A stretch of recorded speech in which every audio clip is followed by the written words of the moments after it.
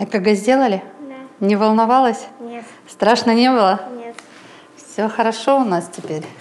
Праздник в честь детских докторов и Всемирного дня ребенка отмечают ежегодно во всем мире 20 ноября. Свой день педиатры встречают на рабочих местах, помогая детям быть здоровыми. Светлана Вячеславовна в профессии 18 лет и за это время ни разу не усомнилась в правильности выбора дела жизни. Изначально я шла э, именно на педиатрический факультет и именно хотела стать детским врачом. Хоть это и довольно-таки сложная специальность, но тем не менее э, с ней связана вся моя жизнь. Профессия детского врача – это большая ответственность, потому что он отвечает не только за здоровье детей, но и за психологический настрой, зачастую родителей. По мнению педиатров, терпение – главное качество, которое помогает в их работе. В силу своей специальности да, мы работаем и с детьми, и с мамами, папами, и бабушками, и дедушками. А когда болеет ребенок, родителям страшно, они волнуются и хотят получить всю информацию по здоровью их ребенка. Забота о здоровье ребенка становится одной из основных в жизни родителей после появления на свет малыша. Хороший детский врач становится надежной опорой на долгие годы. С трех месяцев мы сюда попали, с бронхитом попали.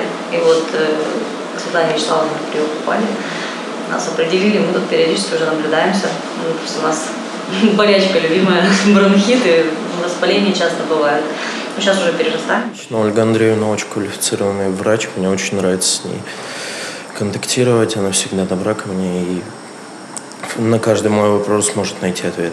Людмила с дочкой Анастасией на осмотр к своему доктору на остров Русский приезжают из Находки. Вот уже три года они лечат артрит. Начинали в родном городе, но позже решили сменить врача. Нас сразу взяли под наблюдение.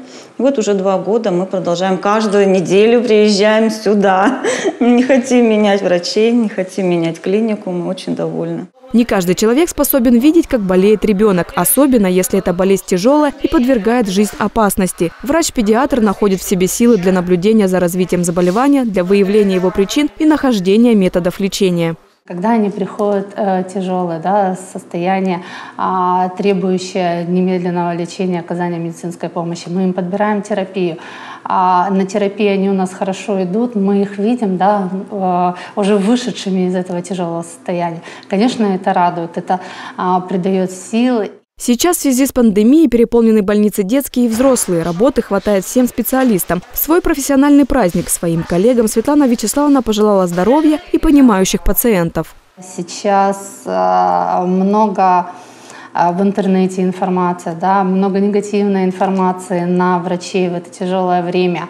Но, тем не менее, мы все работаем, и мы все работаем на то, чтобы пациенты были здоровы. Алина Черненко, Игорь Болтов. Новости на восьмом.